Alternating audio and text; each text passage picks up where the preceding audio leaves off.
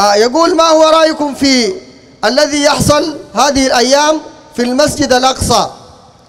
المسجد الأقصى طبعا محتل كما يعرف الجميع وفلسطين محتلة من قبل اليهود. وهذه الأيام اليهود قاموا أغلقوا المسجد لفترة لأيام أغلقوه من المصلين. وطبعا ده شغل اليهود شغل بتاع أذية للإسلام وهم العدو الأول للمسلمين العدو نمرة واحد. ربنا سبحانه وتعالى يقول والله أعلم بأعدائكم وكفى بالله وليا وكفى بالله نصيرا من الذين هادوا. أول عدو ربنا قال لتجدن أشد الناس عداوة للذين آمنوا اليهود والذين أشركوا. ده الأول الأعداء. وبالتالي ما يستغرب من اليهود أبدا كونه يغلق المسجد الأقصى أو غيره من دور العبادة أو حتى دور العبادة في يد المسلمين بيغلبوك فيها ذاتا. أصل ده شغل اليهود. ولكن القضية كيف يكون العلاج؟ المسألة دي ساهمت فيها جهاد لكن الآن الإعلام ما بيذكرها لك إطلاقا. الآن المسجد الأقصى فتحوه والمشكلة اتحلت ما في حاجة.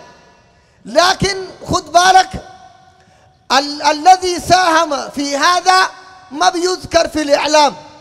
الآن تمشي في الإعلام بتلقى نساء متبرجات طالعات مظاهرة. أخوان مسلمين بتاجروا بهذه القضية.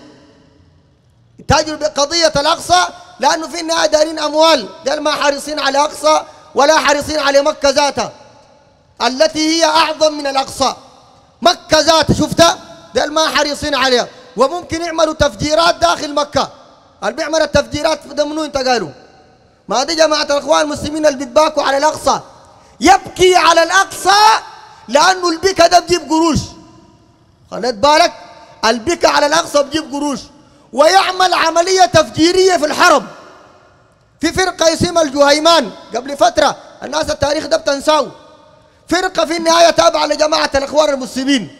دي عملت تفجير وقتل للناس داخل الحرم. الحكومة السعودية طوال بتقبض محاولات بتاع التفجير داخل الحرم. منو اللي بيعمل الكلام ده كله؟ ده الأخوان المسلمين خد بالك. ويجي الآن الأخ المسلم يتباكى على الأقصى. عبد الحي يوسف نموذج. شوف الآن في وسائل الإعلام بتلقى. واقف في مظاهرة طالع معاه مجموعة من الأخوان المسلمين. فوق لهم الشعار بتاع الإخوان المسلمون. الإخوان المسلمين شعار فوق لهم.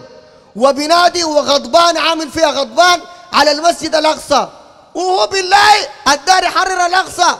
هو كده طالع برا الشمس ما قادر يجي فيها إلا بنظارة شمسية. ده بحرر الأقصى؟ انت الشمس دي ما قادر تجي فيها ساعة وقفة. إلا بنظارة شمسية وماسكين له المايك بيجاي وعامل فيها مسيرة غضب. انت بتغضب على اي أساس. تغضب على اي أساس.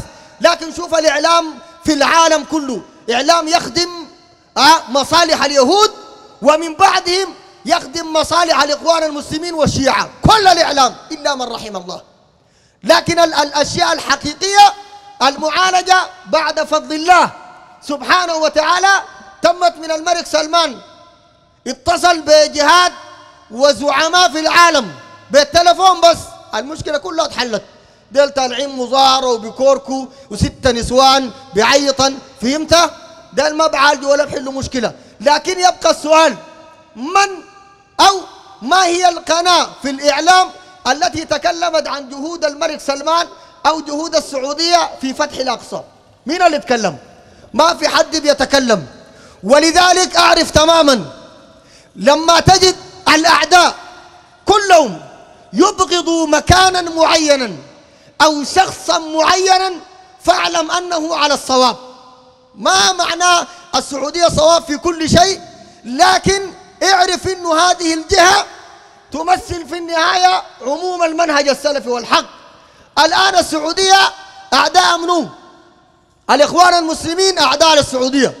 عداوة ثقيلة في البلد دين الصوفية جت من أولهم لآخرهم. بس كديت تتكلم قول لهم السعودية يقول لك الوهابية المساخيت ملعونين الله يلعنكم.